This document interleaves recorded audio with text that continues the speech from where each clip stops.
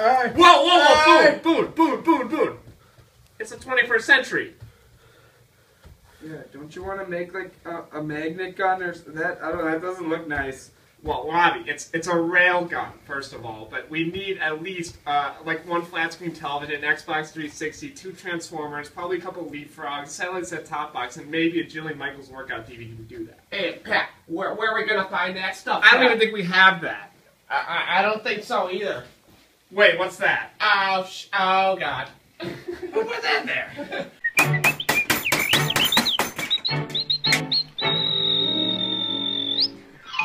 Just whistle while you work.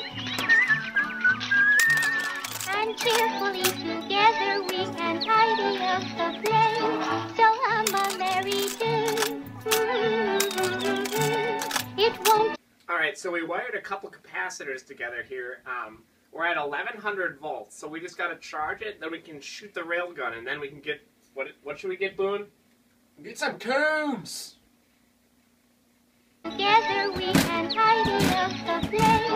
So hum a merry tune. It won't take long when there's a song to help you set the pace. Almost there.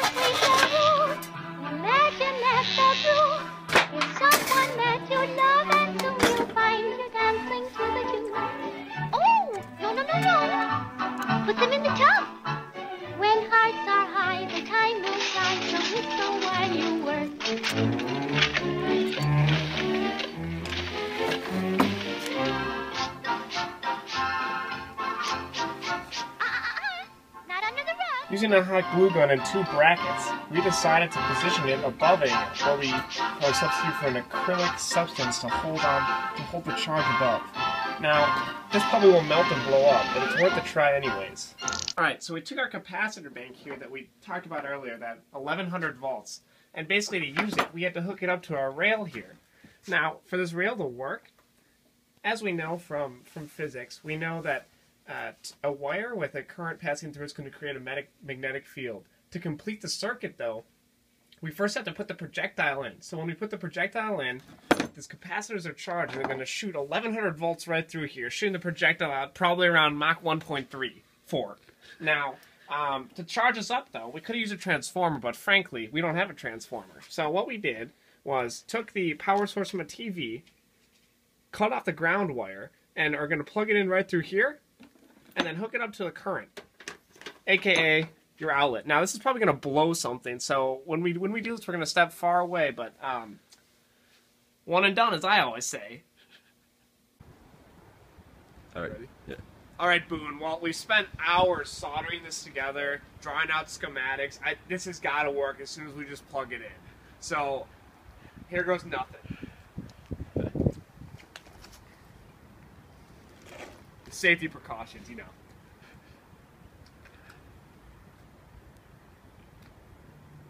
All right, now plug it in the wall.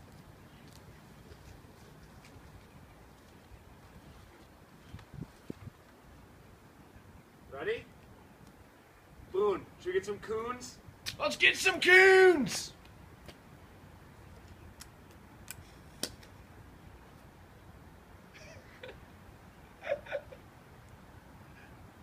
Two more. Set on fire at least. That's all. I think. What happened?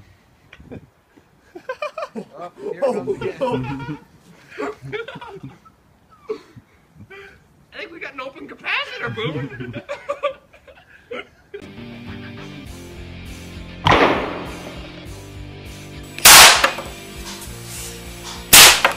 And here in slow motion.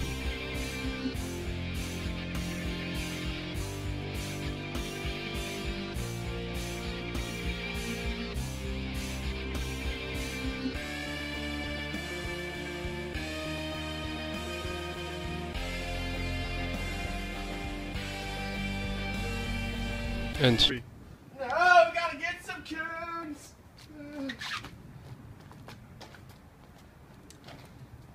here my favorite shot.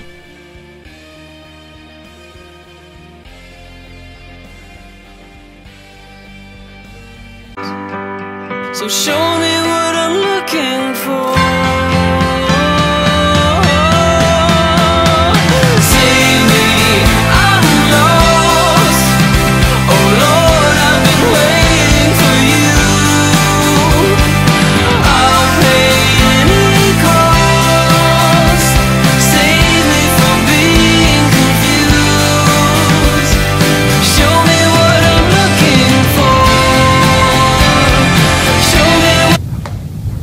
Ah, Lorentz's law, which is force equals charge times the electrical field plus charge times the cross product of velocity and the ma- magnetic field.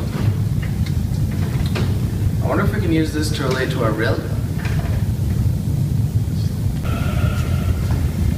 Well, a discussion on railguns first begins with the assumption that the loop we created here contains a moving current and an, and an electric field, and thus a magnetic field. So you know that a magnetic field for a loop, a simple, a simple loop, is the constant of permeability of free space times the current over 2r.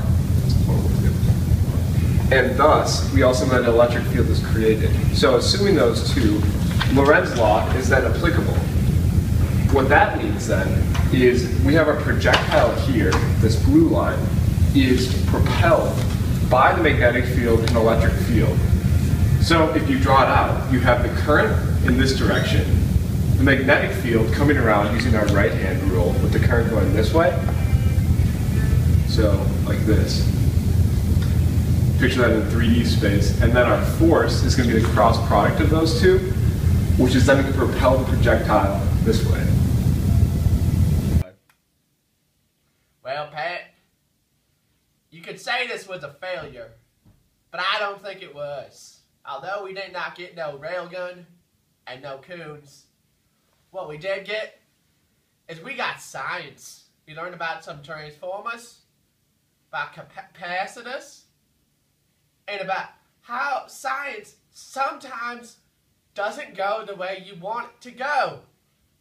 But I think I think next time we can make a railgun for real. Now that we know how not to make a railgun, we can probably make a railgun. That's all I got for you, Pat. Thank you. If you bring your dog to off leash play areas, it's a good bet you've seen plenty of typical dog squabbles. As I've said in earlier episodes, most such fights are ritualized, a matter of loud snarling and growling over in less than a minute with no harm done beyond maybe a nick or two. You could compare them with a loud human argument. No fun, but they happen once in a while and they're really no big deal. The risk presented by a dog who may not fight often, but who does cause significant damage when he fights, is an easy call. If that's your dog, he shouldn't mingle with other dogs. In fact, he should have only the most carefully monitored interactions with other dogs at all. And that goes even if you've worked diligently with a qualified consultant to modify his behavior. Why that last caution? Because there's no such thing as a cure for behavior short of euthanasia. This is one reason why the